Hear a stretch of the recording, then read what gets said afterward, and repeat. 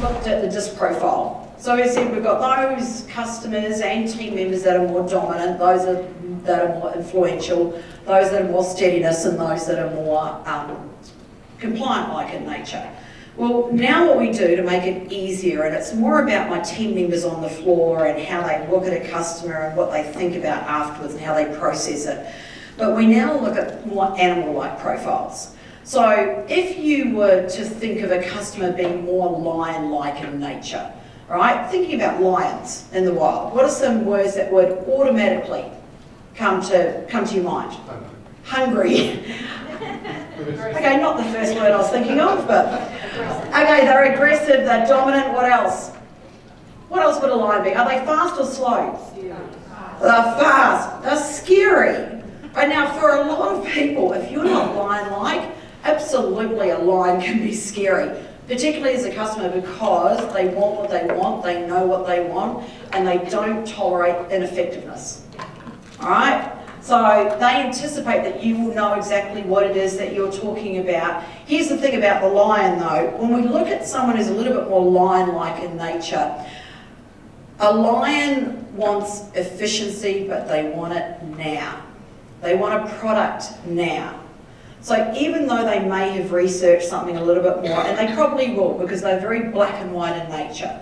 So sometimes they know something's about to hit the market, they know something's happening, but when they go out to actually physically buy it, they want it now. Now because of that, they are less likely to buy online because that would mean waiting.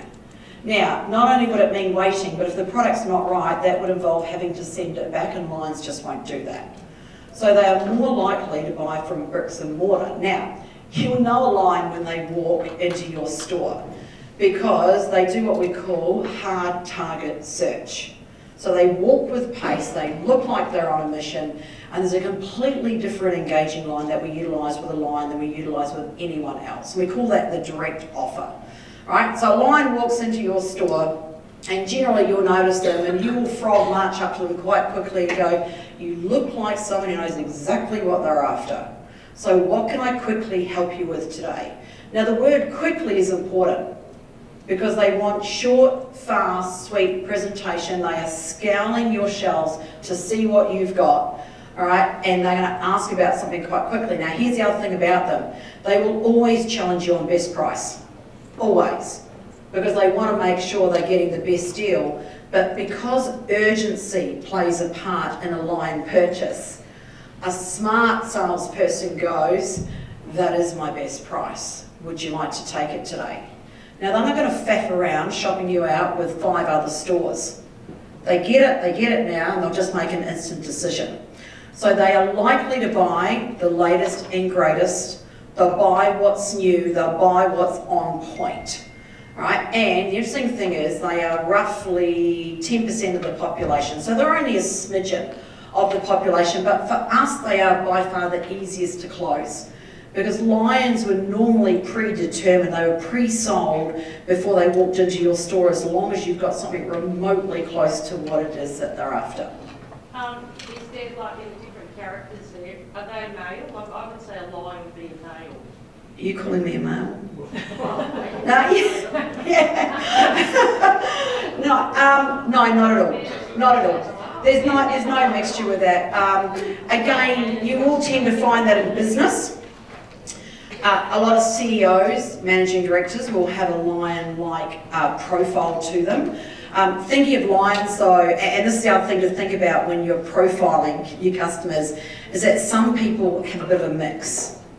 So some people might be a lion mixed with a puppy, or a puppy mixed with an owl, so to speak. All right, but I'm going to come back to that in a moment. It's a good question. All right, so lions are roughly 10% of the population. Then you've got someone who's a little bit more puppy-like in nature. Now, what are some words that would naturally describe a puppy? What do you reckon? Cute, lovable, approachable, what else? Playful. Playful, loyal is a massive word. What was that, Stephen? Clumsy clumsy.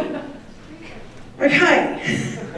now, they are playful. Now, potential time wasters, yes. Uh, puppy loves a good yak, all right? They love a good talk. Um, the other thing about a puppy, this is a big thing about a puppy, is a puppy is an impulse buyer. over and above anything else. And so here's what happens. A puppy goes grocery shopping and they're heading to, well, they weren't heading to Coles today because they were closed. All right, but they're heading to Woolworths, they're heading to Woolies, and they just happen to walk past your store and something sparkly catches their eye. And they go, ooh. And a puppy wanders on in, and then they get a sensational salesperson. And you pay them some genuine attention, right? You actually have a nice personal conversation with them. You show them something that is, and, and, and puppies are buying whatever is on trend sparkly, colourful, right? P- puppies love pretty. Right, you show them something that's on trend, and then you naturally go, so would you like to go ahead with that today? Now, a puppy had no intention of buying jewellery today, but they're now stuck in a rock and a hard place and they really love it. And they do this, they go, what the heck, I'll earn more next week. Right, and puppies will naturally make an impulse decision. Now, here's the thing with puppies you've got to be real fast in getting that baby in a packet, wrapped up, all right, and keep them engaged with conversation right to the moment till they leave your store. Because they also have a tendency to get what we call the guilt moment, all right, where they're standing in your store going, oh, should I, should I not, should I, should I not? So it is about keeping them engaged. Now, they are fast, they are talkative, but they're very emotional and people oriented. So the language they use is very much he, she, like, love, and it's very personal. And puppies will do what we call hang out. So a smart salesperson, a puppy's going to give you information you so don't need. Right, you are five minutes into the conversation, you have no idea why they came in today, but you know where they're going on holiday in the year 2019, you know how many kids they have, you know what they had for breakfast this morning, right? You just don't know what they come into your store, and that's just how they operate. They have the gift of the gab and they use it. Now, they are roughly 15% of the population. Now, thinking about this, lions and puppies combined are what referred to as being extroverts, they're outgoing. They're fast, they're faster paced. The difference between the two is that a lion is very matter of fact and a puppy is very emotional and soft. Right? So a lion's a little bit harder edge and the puppy's that nice softer style. Now, that means that only 25% of those customers coming into your store really want to interact with you up front. Right? Which means 75% of most customers coming into your store are introverts, meaning they think first, act second. They are harder to get into a conversation with. They do not trust easily. And the last thing they want to do is talk to a salesperson today, even though they're coming in to look for something specific. So it is a completely different engaging line that you might utilise. So thinking about a puppy, right? A puppy, you would generally talk non-business. And we all know non-business opening lines. They've been in jewellery for forever and a day, right? They are really only relevant for roughly 15% of the population. Right? No one else is interested in nicey nice conversation with you today because they're resistant, they're introverted, and they don't trust easily. So it's a completely different style of interacting that we're trying to do with at least 75% of the population. Now, thinking about that, you then have someone who's a little bit more koala-like in nature. So what are some words that you might associate with a koala? What was that one? Chlamydia. Affectionate. you got it all going on in the front today, don't you? Alright. So, aside from being slightly diseased, generally most people say cuddly. Cuddly. Yeah, cuddly's good. Alright, so they're, they're a little bit cuddly. Alright, are they slower or faster? They're definitely slower. In fact, they're a little bit more sleepy more than anything else, and they are shy. So when you think about it, and here's the interesting thing about koala styles. They, they think first, process second. They're not buying for the sake of it. They're buying for, for longevity, they're buying quality, and they want something that is versatile, that will go mix and match with what they've already got. So in order to understand what that is, we have to take a lot longer in what we call the qualifying process. So I need to take a lot longer building the rapport, building the trust before I actually show anything or showcase anything to a koala style individual. Now, koalas are hugely indecisive. They are the style that does the, oh, I'm just looking. They are also the style that does, I want to have a think about it because they do. Now, the reason I want to have a think about it, and, and you think about this, watching your colleagues around you when they show something, how many items would most of us showcase to a customer most times? How many items do you think most of us would pull out and show to a customer? How many, how many do you reckon? Five? What do you reckon? How many items would we pull out and show? Three or four? Same? What do you reckon? How many items would we pull out and show most times to most customers? Four or five? Yeah. It could be more. It could be more. All right? Now, here's the thing. When you give someone who's more koala-like more choice, they just physically cannot make a decision today. And they will walk. And it's not because you couldn't present the perfect solution, it's just the fact that we didn't. Now, they will weigh up the pros and cons of every single piece of information that you give them.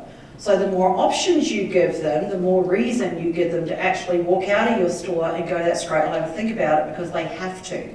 They're weighing up the pros and cons of this piece versus this piece, this size versus this, this price versus this, rose gold versus yellow gold, right? So, and so ideally what we're trying to do is minimize the selection that we show so that they can actually make a decision today. Now the other thing is this, whenever it comes to someone who's more koala-like in nature, we know they're going to do the want to have a think about it. So we need to know exactly how to overcome that concern. I'm going to come back to that a little bit later on. All right, now, the other thing about uh, koala styles are that they don't like change. In fact, they're completely resistant to it. So a koala, once they are your customer, they're your customer for life, you would have to really muck up in order for them to no longer want to buy from you. So they are loyal, they are consistent, it's just about getting them to be your customer for the first time. Now the interesting thing about them is they are 65% of the population right? Two thirds. Two thirds are hugely indecisive. Two thirds are resistant to salespeople. Two thirds do not trust easily, which means with two thirds of the population, we need to take our time in building rapport and credibility before we start pulling merchandise out of the cabinet. Now you might go, well that's a little bit difficult when they've walked up and gone, can I please see that? But a smart salesperson does what we call a slow reveal. And I will always have a Selvyt, I will always have a glove, I will always have a tray because those three things immediately will trade value. We never ever show with our bare hands. And I will naturally pull it out and it's now hidden in my Selvyt and I'm polishing it. And then I actually reverse engineer the process and start asking a few questions so that I have a valid reason why I'm about to present this piece. Do not be in a hurry to show your merchandise. They may have already seen it, but they haven't seen a price as long as you don't have anything, everything ticketed, right? And they really haven't seen the quality of it or what it looks like on. So keep it to yourself just for a moment, just to give you enough time to ask a few quick questions that you can then utilise as part of your presentation process. All right, now, the work's an absolute treat. That, now, thinking about coming back, and I just mentioned something else, please try not to have everything ticketed in store. Right? Some people's perception are, if it's ticketed, if it's not ticketed, we won't look at it. If it is ticketed, I already see the value of it. And here's what people do in your cases, they scan prices. They do this. They scan prices, so they, they look at it and they go, oh, 2,000, no, not spending that. Two, oh, like, no, not spending that. So you are better off to have less ticketed because more people will actually ask to see it. All right, and that allows you to build the value. Now the thing is, if I look at it, I may have come out today to buy something for myself and I'm thinking around that sort of thousand dollar mark but I fall in love with the piece. You build the value in it. It may be well over the thousand dollar mark, but you have other options in order for me to A, make it easy on my pocket and be able to take it home today, even though I've only got a thousand dollars sitting on my credit card. Does that make sense? And if you have everything priced, that allows you to not be able to do that. You've got plenty of options The key is where you introduce those options and how you do that today. So we highly recommend that your promotional items are ticketed and we generally leave off the prices of most other things. All right, now coming back to koalas and owls. Last style of individual is someone who's a little bit more owl-like in nature. Um, an owl is roughly 10% of the population. Owls are, again, slower paced, all right? Now, what are some words that might jump to your mind when you think about an owl? What do you reckon? What are some words that would describe an owl? Wise. All right, observant, wise, what else? Smart, sharp, educated. So owls have done their research before they come into our store. Owls will often come in with a mobile in their hand. Right, they are price matching. They already have. A, they've been. They're either on your website. They're looking at someone else's website. They have already shopped multiple stores before they come into yours. Right? If they haven't, they will because that's how they operate. Owls are looking for the best price they possibly can. Uh, and they will shop around for forever to sell, save themselves $100, $50, $20, whatever it is. They don't calculate the time it took to do the shop around, right? But they're not in a hurry. So that when they're making a buying decision, they're likely to make it over multiple weeks or even months. Now, the thing with an owl is generally you will find they're conservative. There's a misconception that says that lions are the hardest customer to actually serve. They so are not. Lions are the easiest customer to serve. They know what they want. You just got to be on point with them and very black and white. The hardest customer to serve is actually an owl, because an owl is not personal. They do not want any of the nicey nice personal conversation, and they know what they want, and they will talk to you when they're good and ready. And they'll actually come across as being ruder than a lion in a heartbeat. Right, so owls are by far the most difficult. They're very procedural in terms of how they do things. So they're driven by process, they're driven by this is the way that we do things. They take notes, they will black and white everything. So if they are shopping for something, they will have it Excel spreadsheeted. Right? And then they will have price points, they will know where they got it from, they will know exactly who they spoke to. And an owl is very defined, but they're also very conservative in the style that they're likely to purchase. So whereas somebody who's a little bit more puppy-like has a flair and uh, are buying things that will pop completely different, an owl is more likely to go with conservative style more than anything else. Now, why is this important? When you actually take time to get to know your customers, you're actually in a position to pull out something that's a lot more relevant to them instead of showing everything that you've got. And when we do the showing everything that we've got, we call that show and hope. I show you this, I show you that, and I hope somewhere in there that I show you something that jumps out at you rather than showcasing a piece right from the very beginning that is on point and the perfect piece. Now, customer relationships are absolutely essential. Um, how do we get better at it? One of the biggest things you can do, whether you're a store manager or a business owner, is to constantly be talking to your team members after an interaction going, what style of individual do you think that was? Right, and why? Right now, what do you think you could have done a little bit differently to get into a conversation today? Now, thinking about koalas and owls, they are 75% of the population combined. Three quarters are introverted, three quarters do not want to talk to us to begin with, so you need a different engaging style to get, to get into conversation with them that is not non-business, right? You need something that's more matter of fact. You need something that is consistent. You can chop and change it from week to week, but that's something different. It's something we call a quick tour, and we'll touch base on that very soon.